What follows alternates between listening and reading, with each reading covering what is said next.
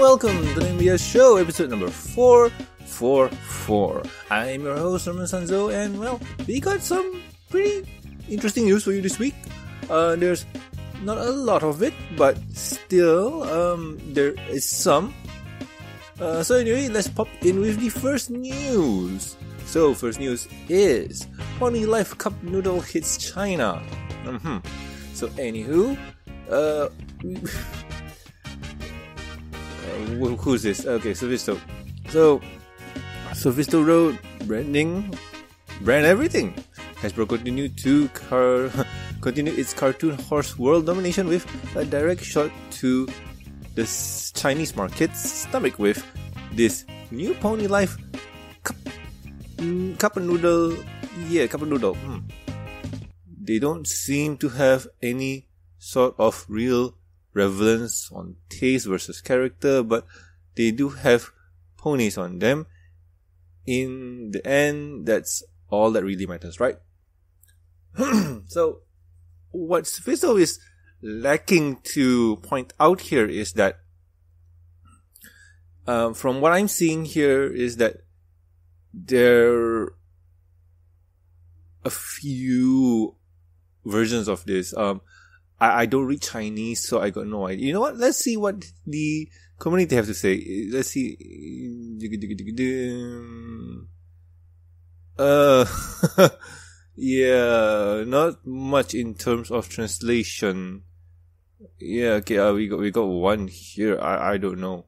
Okay, so anyway, um, from what I can tell, uh, there are a few flavors from beef to veggie to I, I'm not 100% sure.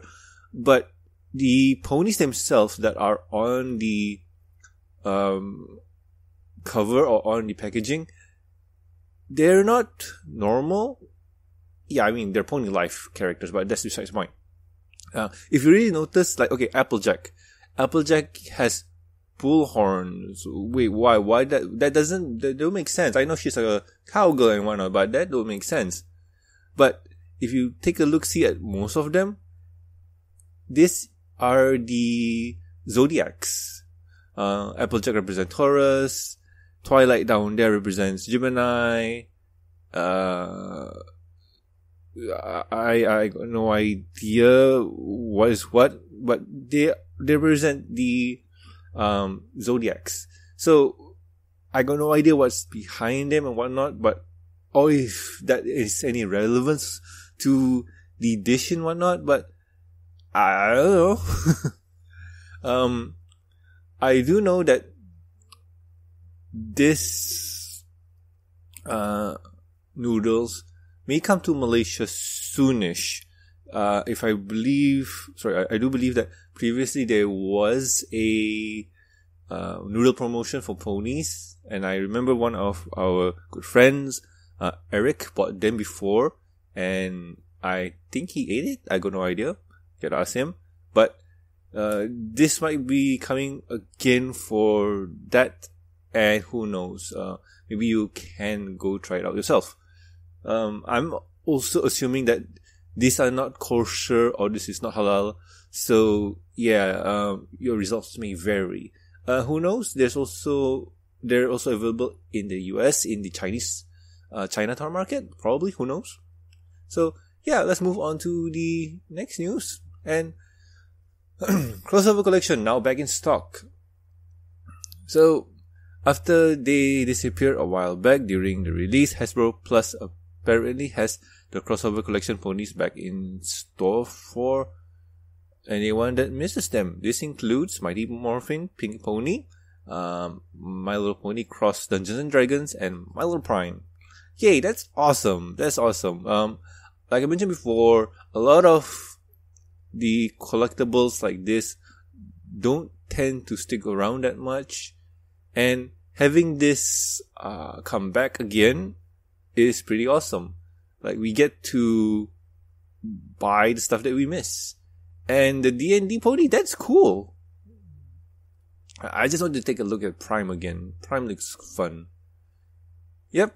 And the prices here are not absorbent. Like they're uh how else are we looking for? They're affordable. 30 bucks. Yay, that's cool. And if I'm not mistaken, the D&D ponies are at 50. Yeah, 60, yes. Uh, but you are getting one, two, three, four, five, five ponies, including a GM screen, and this is including the character's bio. Ooh. And you'll be also getting a D20, which I got no idea if they have any special symbols on the die. But hey, this is something.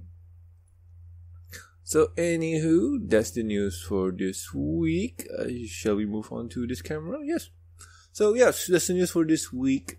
Uh, nothing much in terms of entertainment. Um, so let's move on to, well, the next topic. And next topic is what have I been doing with my week? Yes. So, uh, in terms of entertainment wise, uh, in terms of gaming, um, I haven't been playing any new games. There's no new games out for me yet. Well, okay, there, that's not true. Uh, Cyberpunk 2077 is out. Don't have the cash to buy it brand new. Plan is to get it on a discount when the price goes down. I'm sure Steam sale will help me with that. And also, if I do play it now, uh, the game is a bit glitchy and whatnot. They did a hot fix version 1. Point something 47 something like that. So yeah, I'm just gonna wait wait it out until the game is a bit stable. Uh, besides that, um, haven't been playing a lot of Magic because well, uh, there's a restriction on uh, hanging out in stores and whatnot, so uh, had to put that one on hold for a bit. Uh, other than that, uh, let's see. Um, yes, went out with a friend to celebrate their birthday, and that was pretty cool. I had to, I had a chance to go to K Fry. Um, that's a restaurant where they serve uh, Korean style fried chicken, which is pretty cool. Uh, it's mm, how do I put this? They, they fry the chicken, they wrap it in cheese, and well, there's multiples, there's multiples, but it's really f- interesting chicken. Let, let me see if I can get a picture up.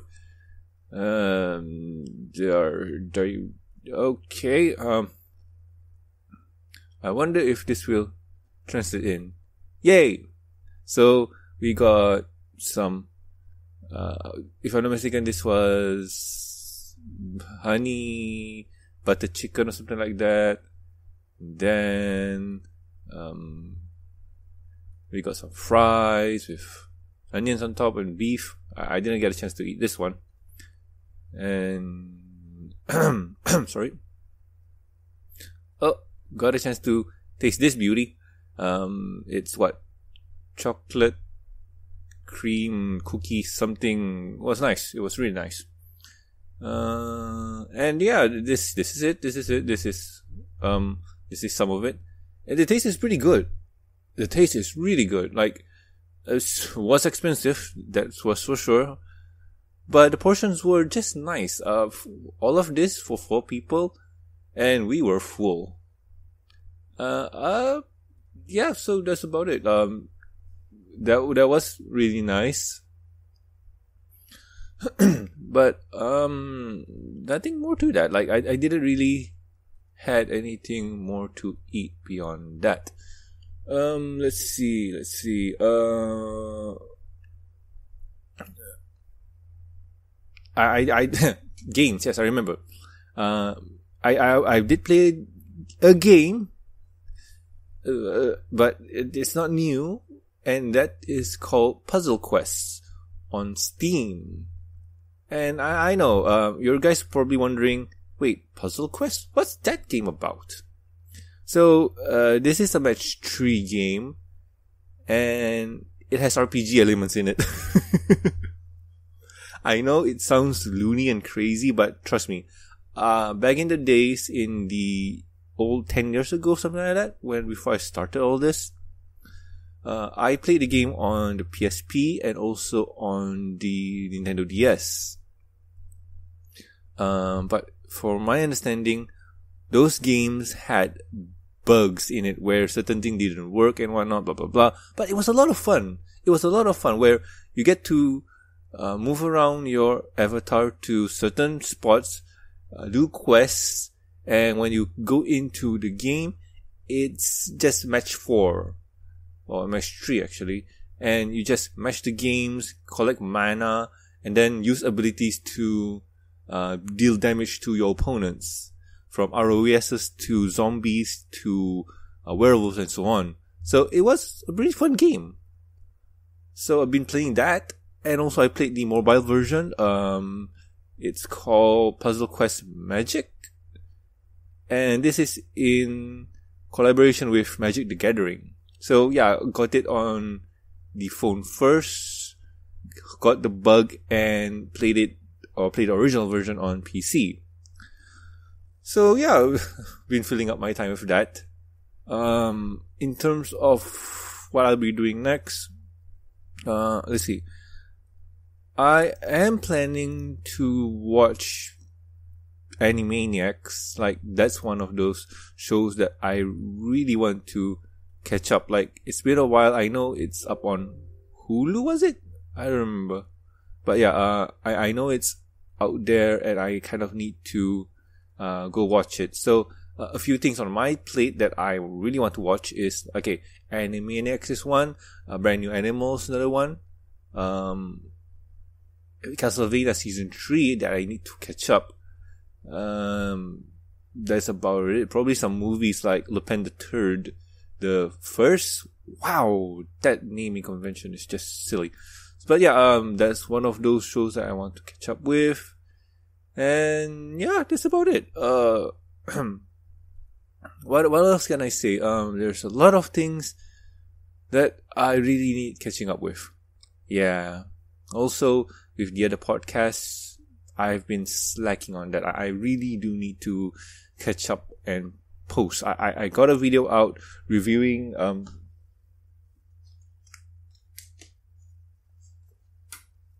not really reviewing, but um unboxing this bad boy. This bad boy here is well, if you do play Magic the Gathering, uh, you you guys know what it is. But if you don't, this is kind of the um, collection set where a lot of good cards are inside here. And you're probably thinking, Norman, that's just cardboard. It's silly. Like, how, like, how valuable can it be? Uh, yeah. Just ask yourself the same question when you buy collectibles, like ponies and whatnot. They can get pretty expensive. On the resale value, that is. Um, bought this one for about 200 plus ringgit. If I do remember right, on certain websites, you can get it for as low as nine, $100 and as high as $200? I don't remember. But yeah, uh, this bad boy here, unbox and a quick look. And then I need to post that video up. Yeah, I, I really need to post that video up. The, oh boys, yeah so with this one too, I do need to post this one up too. So anyway, uh, I am going to wrap this up because I am just babbling right now. Okay, if you guys have any questions, concerns, or suggestions for the show, you can contact us at thebshow.gmail.com. You can also reach us on the Twitters. The show's Twitter account is at Show, and my personal Twitter account is at Norman Sanzo. You can also and also please subscribe rate us on iTunes, YouTube. Don't forget to press the bell icon to stay up to date and Stitcher Radio and also like our Facebook page. You can also catch us on primitivelife.com. Links will be in the show notes. Also do subscribe to the Review and Discussion podcast where we review pony episodes, comics, movies, specials, and more and more. Sorry, my throat has not been really doing well, which is strange. So yeah, kind of been off. Anywho, uh, go do that. Go catch Silver, myself, and Terra. We we do awesome stuff. Yay! So anyway, uh, if you would like to support the show, you can do so at patreon.com slash MBS show. With every support, you get a week's early access to review discussion podcast, exclusive and deleted content, and a huge thank you from me. Talking about thank yous, I would like to thank Lucky Knight, Jeffrey, myself Lag, and also Tristan. Thank you so much, guys. You are great. So if you want to be like this crazy people here, you can go to Patreon and subscribe. I'm planning to do more stuff there, like more vlog stuff. I, I feel like I, I do enjoy talking to you guys. Um, kind of weird, yes, but I, I do want to do more stuff like that and see how it goes. So yeah, that'll be there. That'll be somewhere in the future. So anyway, uh, I have been Norman Sanzo, and I'll guys catch you next week with another fun episode of the MBS show. See ya!